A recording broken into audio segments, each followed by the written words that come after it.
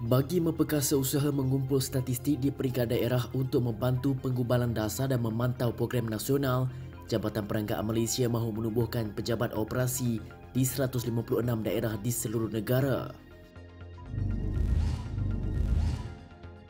Menteri Besar Terengganu Datuk Seri Ahmad Samsudin Mokhtar beri bayangan pilihan raya negeri PRN itu mungkin diadakan Julai ini. Ini kerana ia akan menunggu penggal Dewan Undangan Negeri itu tamat untuk mengadakan PRN. Masalah pengangguran dalam kalangan graduan lepasan universiti perlu dilihat secara realistik dan lebih adil berbanding hanya menyalahkan satu pihak saja, kata Ketua Penerangan Majlis Belia Malaysia MBM Syafiq Rizwan Jamaluddin.